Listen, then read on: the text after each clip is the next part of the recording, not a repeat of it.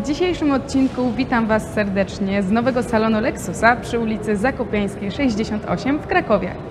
Jest to dla mnie szczególny odcinek, ponieważ będę odbierała swoje nowe auto i cieszę się, że będziecie razem ze mną.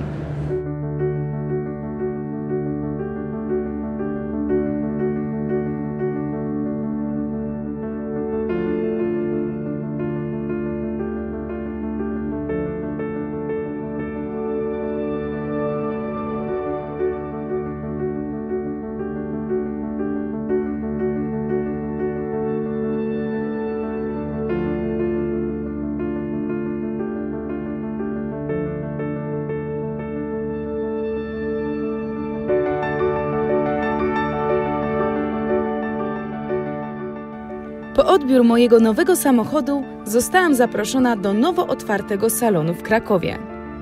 Budynek podzielony został pomiędzy Toyotę oraz Lexusa. W związku z tym czekała mnie krótka przejażdżka ruchomymi schodami na pierwsze piętro.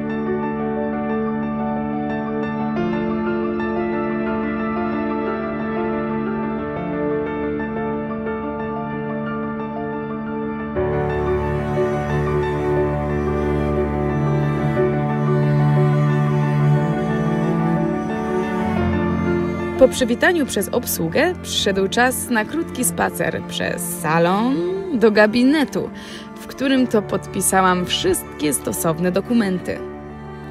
Po załatwieniu papierkowej roboty poproszono mnie o przejście do kolejnego pomieszczenia, w którym to, pod przykryciem, oczekiwał na mnie mój nowy nabytek. Zanim jednak doszło do odsłonięcia, obejrzałam krótki klip prezentujący wybrany przeze mnie model samochodu. No, w końcu nadszedł wyczekiwany przeze mnie moment.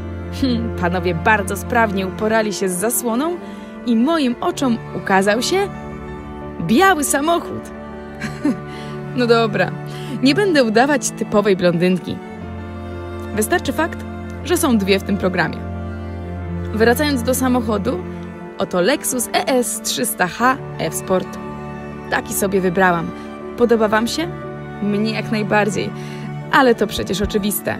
I nie będę na niego narzekać 5 minut po odbiorze. Po chwili na nacieszenie wzroku otrzymałam kwiaty i kluczyki.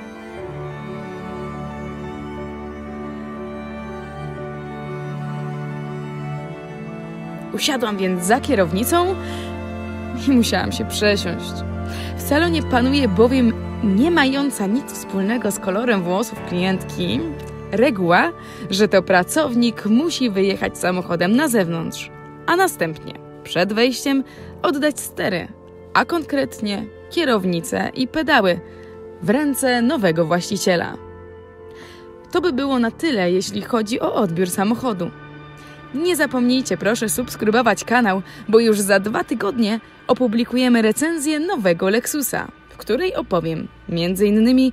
o pierwszych wrażeniach z użytkowania go w tym czasie. Trzymajcie się i do zobaczenia!